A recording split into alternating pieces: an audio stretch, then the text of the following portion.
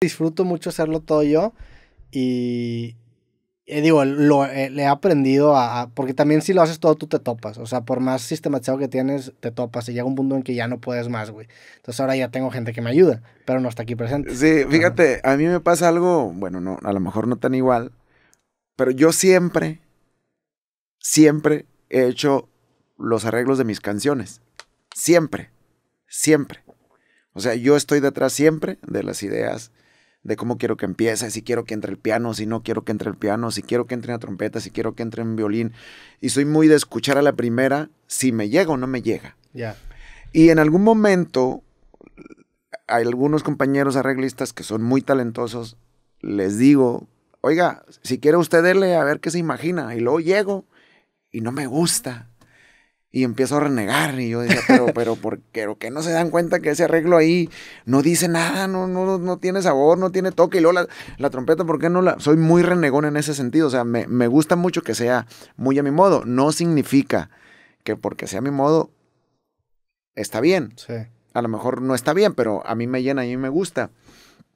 Y siempre he estado metido y detrás de todo el proceso de, de la música. Y cuando me toca producir algunos compañeros, me gusta también estar completamente metido y hacer las ideas y cambiarlas. Y no me gusta como entró ese intro y no me gusta el puente y ese puente está muy largo, hay que cortarlo porque la canción ya está larga y, y si le metemos un puente muy largo se va a quedar muy larga. La canción tiene que ser de 320 o de 3. 330 ya es demasiado, si queda de 280 mejor. Y ahí esta canción está muy larga, que entre una pam, pam, pam, pam, pam y que empieza a cantar. Me gusta todo ese mundo y por eso te preguntaba lo de creativo porque toda esa parte de creatividad es algo que a mí me mata, a mí me, me fascina. No, no, no, no te imaginas. Ahorita, ahorita que estábamos hablando de tu estudio en la Ciudad de México, eh, inmediatamente me imaginé las lámparas esas que te sí, digo. me recomendaste unas lámparas de globo con unas tijeras que, bajan, que están eh, Sí, me encanta. Entonces, pues este es un placer poder estar aquí contigo. Había visto este tus, tus videos varios de ellos, muy interesantes y felicidades por, por todo lo que has hecho. No, hombre, carnal, qué bueno que estás aquí. Y, y sí, la neta, o sea, la neta también ahora que lo estabas diciendo, pues el hecho de involucrarte también en tantas cosas de todo lo que haces, te da como nuevos lienzos para poder plasmar tu idea, ¿no? Sí. Porque si solamente te enfocas en la guitarra, pues bueno, tienes una idea y la vas a intentar solamente plasmar en, en el universo de la guitarra. Pero conforme más te vas metiendo y dices, ah, bueno, la guitarra y luego si le meto también la batería y el bajo y la voz y el arreglo y luego empiezo a estudiar música, que el acorde mayor y el menor y luego dices, sabes que también el video y que la iluminación y que la cámara y que el encuadre Sí, sí, sí, te da, te da demasiadas oportunidades para, para comprobar esa misma idea y te puedes volver loco porque si nunca yo acabas. pudiera, si yo pudiera manejar una cámara y estar enfrente a la vez, te lo juro que lo haría. me conozco tanto que de verdad que te lo haría. Esto, me gusta mucho cocinar. Ok. invento mis platillos y lo que sea. Y, y no puede nadie acercarse. Cuando estás cocinando. Ni a echarle sal ni, ni nada. O sea, porque lo quiero hacer yo. Y si tú me dices, Paz, te voy a hacer, no sé, una, una hamburguesa.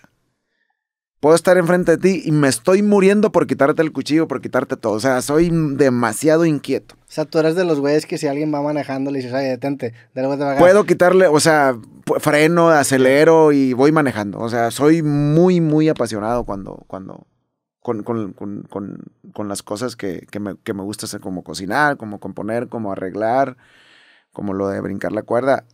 Hay un video que me dice, no brinques la cuerda todos los días. Ah, pues ahí va el hombre a brincar la cuerda todos los días. Sí, te iba a preguntar, Todos eso, los- porque yo no lo brinco todos los días. Todos los días. Porque ya me, me- sí me empieza a doler un poco la, Dicen que la no es bueno. y el, el- Es más, a mí se me duerme el pie izquierdo. ok. Y dicen, no brinque la cuerda todos los días. Haz de cuenta que me le están diciendo un burro. Ahí voy y la brinco todos los días. sí. Entonces sí soy muy medio apasionado cuando algo me, me gusta y quiero hacerlo todo yo. Y si no sale bien, soy bien enfadoso. Pero te- está chido tomar como ese acercamiento porque hay de dos sopas. O sea, te vas a meter una chinga, esa, esa de entrada. Te vas a dar de topes porque lo vas a empezar a hacer a tu manera. Pero hay dos caminos. O acabas comprobando por qué el estándar es el estándar. De decir, ah, no, pues sí, por eso le hacen así todos, por- porque si le hacen así está de la chingada. o en algunos casos acabas encontrando un camino no explorado y ahí dices, a la madre, encontré algo, encontré oro. Si solamente sigues la plantilla que ya te la estableció la, el- la industria, pues estás condenado a repetir lo mismo. Sin embargo, cuando tomas estos acercamientos, pues a lo mejor la gran mayoría de las veces sí vas a llegar a esas conclusiones o, o conclusiones similares. Pero cuando no, salen cosas bien interesantes, güey. Pero yo creo que sí, pero ¿sabes qué es importante también? Que luego a veces uno le pasa, y a lo mejor no sé si te ha pasado a ti, a veces pones a amigos a trabajar en lugares que no le corresponden. Sí. Y los resultados no son. sí. ¿Sí me explico? Sí, sí, Y lo reniegas y luego, no, mejor lo hago yo. Y luego de repente hay raza que te dice, por ejemplo, una vez me tocó un muchacho que, que me dijo, le dijo, oiga, es que quiero contratar mejor a un fotógrafo y a alguien que se dedique al Facebook y a alguien. Y luego me para y me dice, oiga, vale, quiero decir una cosa, yo soy fotógrafo profesional. Le dije, ¿y por qué cuando te contraté no estabas trabajando de fotógrafo profesional? Entonces, yo creo que también a mí me ha hecho falta quizás ser un poquito más frío y realmente poner a veces en, en, en algún lugar a la raza que realmente se dedica, el que graba, pues a grabar, Sí. el que edita, pues a editar. Y a veces uno por querer ayudar a, la- a- a algunos amigos, los pone uno en el lugar donde no debe ser. Y los resultados no son los mismos y es cuando entro, creo yo, a querer yo hacerlo todo, a querer yo resolver. Algo que seguramente no lo voy a resolver porque tampoco me dedico a eso. ¿Sí me explico? Pero Sí, pues de renegar con alguien, este, de, de herir a alguien, porque a veces uno hiere a las personas cuando les dices eso no está bien, pues mejor me hiero a mí mismo al decirme que no, no lo hice bien.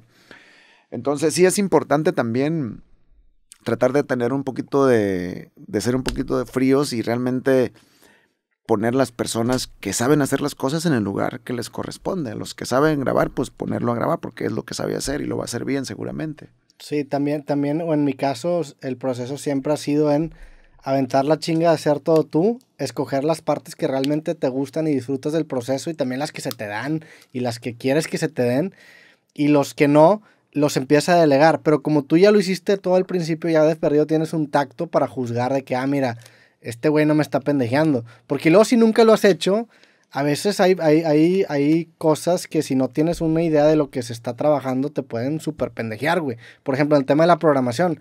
Un güey que no sabe programar va con un programador y le dice, no, sí, me va a tardar no sé cuántos días. Si tú no tienes idea del, del- de, de qué es programación, ves Yo un no código. tengo idea de qué es Pues programación. porque no te interesa.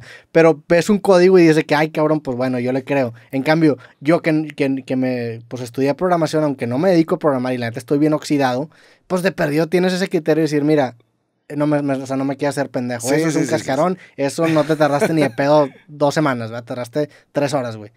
O sea, te da ese tacto para juzgar y para poder también, pues, contratar gente y que no te... no Sí, te- a mí me pasa que cuando en algún momento en mi estudio, tu casa ahí en Mazatlán, Sinaloa, a- a veces no tengo tiempo y mando a hacer una rola, ¿no? Y duran cuatro días, cinco días.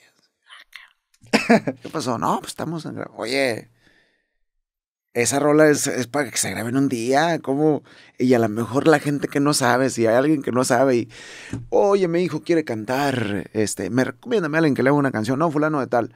No, estamos haciendo la producción, eh, ya la empezamos hace cuatro meses. Y, oiga, Sí, se lo van a chamaquear. No, no, cuatro meses, diez canciones es demasiado para banda. O sea, un disco de banda se puede grabar en tres días, de diez canciones, sí. rápido. Hay, Ok. hay, hay un, hay un libro que tiene Stephen King, que es este autor del- de, puros historias de terror, y el güey sacó un libro que se llama Sobre escribir, así se llama el libro, Sobre escribir, y te, te pone él cómo le hace para escribir, güey. Y en un capítulo eh, te dice, para hacer un bosquejo, un libro, más de tres meses no te puedes tardar, güey. Si ya te tardaste más de tres meses y apenas estás haciendo tu libro, te está haciendo pendejo. O sea, tienes también que tener ese decir, güey, Sí, sí. no, o sea, no, no quieras, o sea, quien quieres engañar, güey. Y, Sí, es- sí, y eso sí. te lo da el, el- la práctica y el estarlo haciendo.